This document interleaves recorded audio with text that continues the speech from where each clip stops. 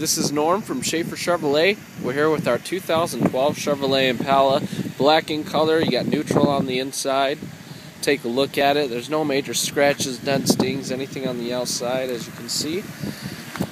The tires do have a lot of life left in them still. Take a look on the inside. Now you do have power everything, windows, mirrors, locks. As you can see, there's that. There's your locks. Right over here, we do have the light, the cruise, a trunk release, traction control. There's your power seats. And the seats are very clean. There's no um, rips, tears, burn holes. This was a non-smoker.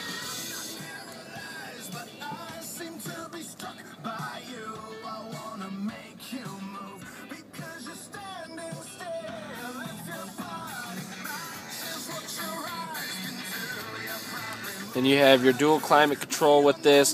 The LTs come with the uh, dual climate controls. They come with remote start, dual exhaust, and a couple other nice features. You do have the steering wheel controls.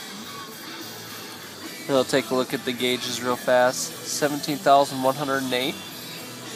Different uh, buttons up there. Check information on your vehicle uh, tire pressure, oil life, you know, a lot of really cool things. So as you can see, there's the dual exhaust. You can put flex fuel in it. Um, this has a 3.6 V6, same engine as the Camaro. As you can see, very clean. Again, this is Norm from Schafer Chevrolet. We're here with our 2012 Chevrolet Impala, only about 17,000 miles.